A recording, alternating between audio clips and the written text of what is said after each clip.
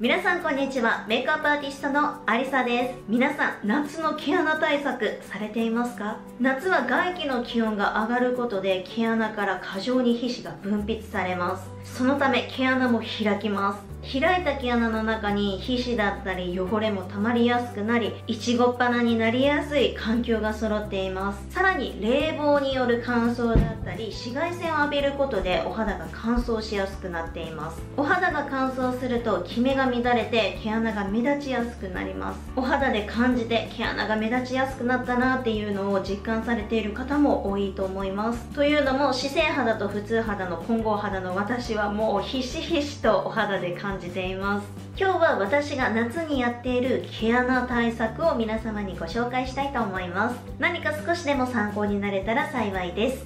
それでは始めていきます。スタート。毛穴対策で気をつけているのは3つです。1つ目は汚れをきちんと落とすこと。2つ目は過剰な皮脂分泌を抑えること。そして最後3つ目は保湿です。この3つのケアをすれば毛穴が目立ちにくくなります。ではまず1つ目の汚れを落とすことです。メイク汚れや皮脂が残っていると角栓の原因につながるので汚れはきちんと落とします。私が使用しているクレンジングはこちらです。デュオのザ・クレンジングバームクリアです。1つでクレンジング洗顔角質ケアマッサージケアにトリートメントが行えるクレンジングバームです。クレンジングオイルのように洗浄力が高いんですがクレンジングクリームのように保湿力が高くお肌に優しいです。毛穴カプセル配合で毛穴汚れが気になる鼻や頬顎額もう私の場合全部です。気になるところを優しくくるくるします。続いて洗顔料です。毛穴よりも大きい泡で洗っても毛穴の中まで洗い上げることができないです洗顔ネットなどを使ってきめ細かい濃密な泡を作ります。毛穴よりも小さい泡であれば毛穴の中まで届き洗い上げることができます。そのためきめ細かい泡を作るのがポイントです。私は面倒くさがり屋なので簡単に泡が作れるエリクシールとプロージョンのマイクロバブルウォッシュを使っています。エリクシールのバランシングバルブは泡立て不要で理想のきめ細かい泡が勝手に増えます。プロージョンは炭酸と一緒にきめ細かい泡が出てきます。泡がクッションの役割になりお肌の摩擦の負担が少なく洗えます。最後毛穴が気になるところは優しく入念にくるくる洗います。角栓はタンパク質でできています。このタンパク質を分解するのが酵素の力です。そのためできてしまった角栓には酵素洗顔皮脂を吸着するクレイマスクは予防として週に1回から2回酵素洗顔やクレイマスクなどを使用するのをおすすめします。夏に使用する酵素洗顔はこちらオバジシーの酵素洗顔パウダーです。ビタミン C 配合の酵素洗顔で毛穴の黒ずみだけではなくくすみのケアも行います。週に12回クレンジング後の洗顔の代わりとして使用します。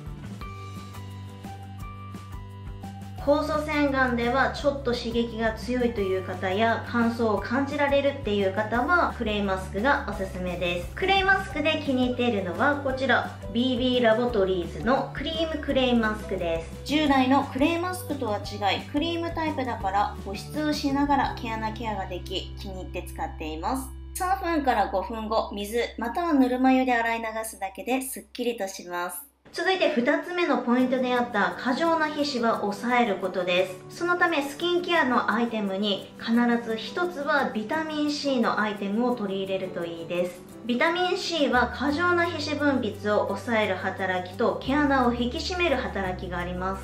長期的に使用し続ければ美白効果も期待できます。私が使用しているのはオバジの美容液です。肌悩みのレベルに合わせて濃度を変えることができます。即効性が高くってこれを重ねると翌日毛穴がキュッと引き締まります。ビタミン C をはじめビタミン E も配合だから潤いやキメザラつきや毛穴ケアも一緒に行えます。オイルのようなテクスチャーです。ビタミン C で刺激を感じるっていう方は恵比寿の C エッセンス。これが結構ね刺激が少なくて使いやすいなと思いました。ビタミン C にクエン酸もプラスされ毛穴ケアにプラスアルファでキメのケアが行えます。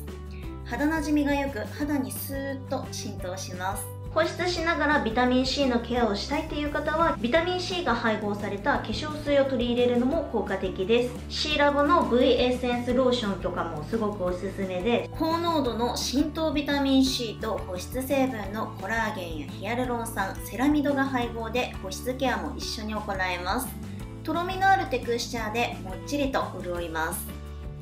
あとは過剰な皮脂分泌を抑える働きのある修練化粧水を使うのもおすすめです。私のおすすめはワンバイ構成バランシングチューナーです。テカリを元から抑える化粧水です。すごいですよね。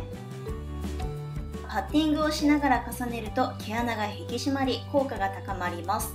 また自家製を冷やすと顔の温度が下がり崩れ防止につながります。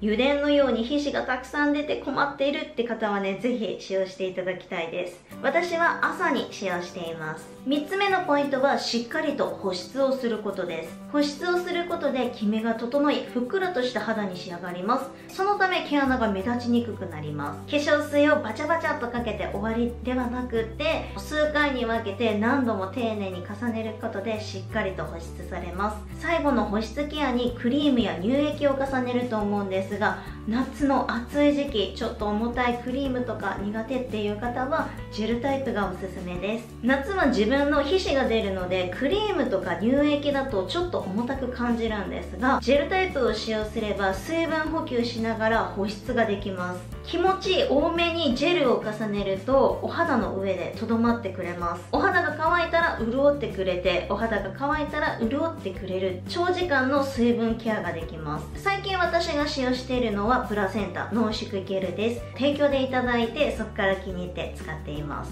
保湿力の高いジェルの中にお肌に必要な成分であるプラセンタエキスがたっぷりと配合され美肌に導きます。私が無知だった学生時代テカリを極端に嫌っていたんですよ。